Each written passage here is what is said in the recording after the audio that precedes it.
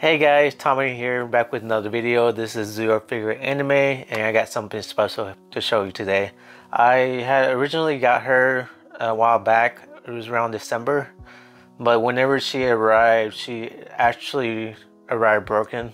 If you've seen my videos or my pictures on Instagram or TikTok, you kind of know who it is. But if not, it is uh, Yumeko from Kakegurui, and whenever she arrived, she had originally arrived from Hobby Link Japan, and it wasn't their fault. It was actually a manufacturer issue. She has a lot of hair, and that weighs a lot. So it broke around the neck area, which is the weakest part. Uh, supposedly it's supposed to survive, but with mine, and I know some other people who had the same issues, uh, it arrived with a broken neck, unfortunately. So I had to get a replacement. Uh, fortunately, Hobby Japan couldn't get me a replacement because they were already out of stock with the figure, uh, Yumeko. So I contacted them first to see if I could get a replacement, but they were like, unfortunately, we don't have any. It would take a little bit for them to get it, and then they had to ship it to me. So it would have taken a lot longer for me to get it. So they advised me to go to the manufacturer and ask them to see if I can get a replacement from them. So they gave me a link. I click on it and it was a Good Smile Company. So I went through their form uh, to get a replacement. A claim form.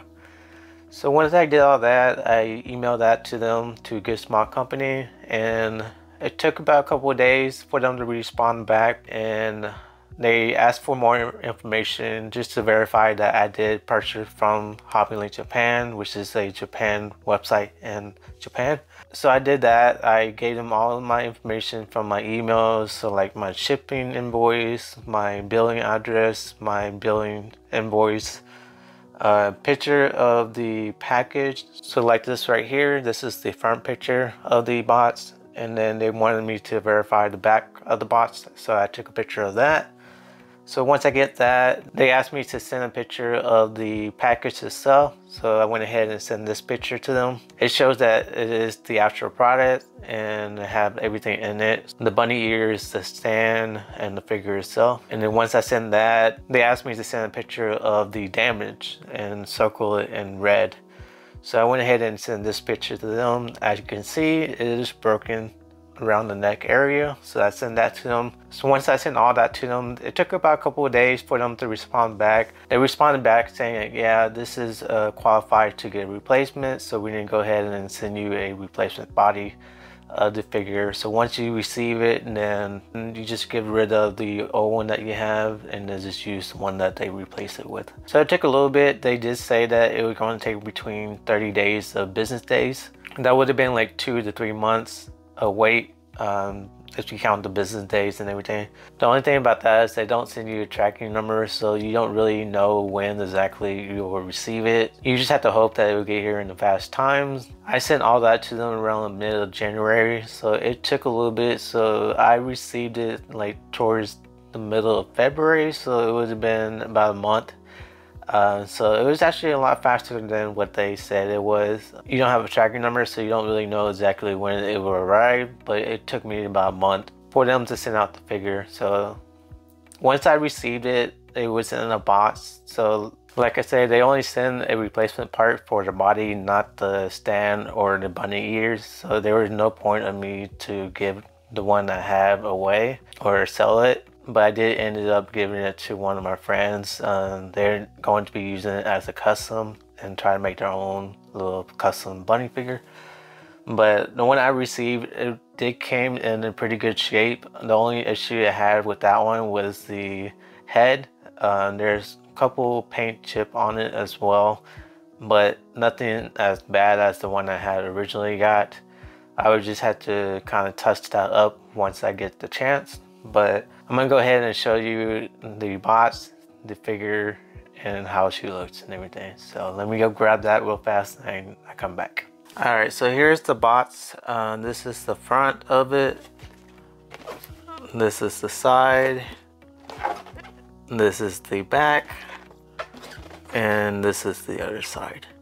I really love this box because it gives out like a gambling kind of build, which is what the anime is and she really looks beautiful right here you can see how she looks in the back. It has the full picture and then the side view and the back view.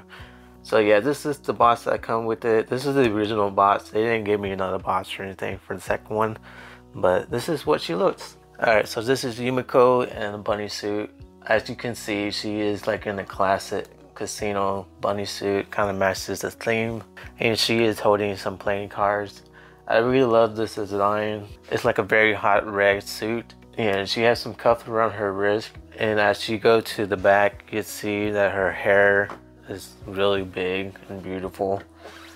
I love how they space it out so you have the whole theme on the back of it. It goes really well for what she is, how her hair is and everything. So I really love that design to the figure. A lot of people had issue with this figure originally because of her face, uh, mainly because they say that it's a lot bigger than what she originally had. Uh, supposedly in the anime or the manga, she has a more slender face. Here it's more round, so it looks a little bit more chubby. But overall, to me, she looks very beautiful.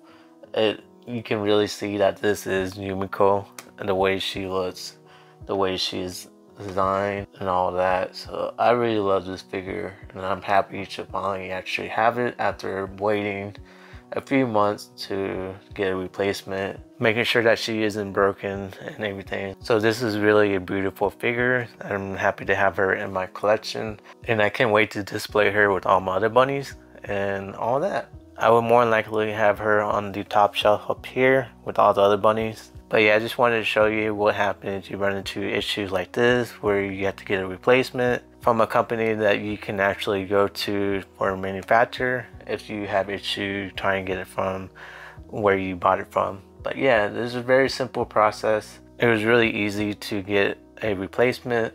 I hope this helped anybody who might run into this issue.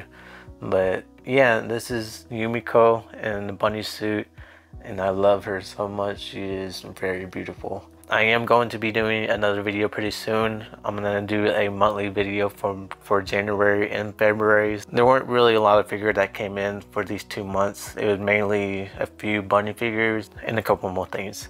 But yeah, this is pretty much the video. I'm to go ahead and do a B-roll for this figure here. If you want to see any more pictures or videos of this figure, you can go tune into my other social medias. So like TikTok, Instagram, Twitter. I have all that link in my descriptions. You can go ahead and look at that. But for now, I'm going to leave off from here. And I hope y'all have a great day. Bye.